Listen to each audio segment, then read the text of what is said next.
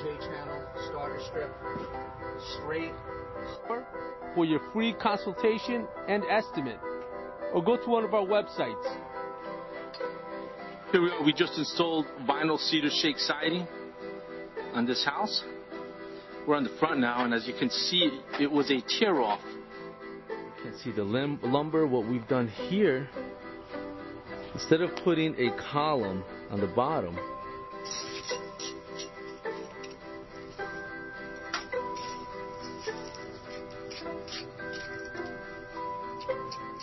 OJ channel, starter strip, straight.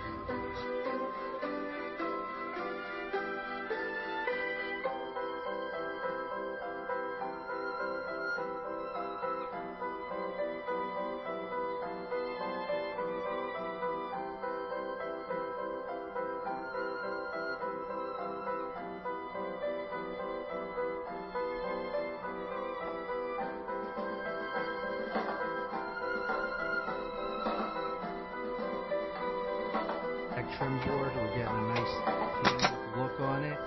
We have uh, some cold molding between the blocks. It's just finishing up right now.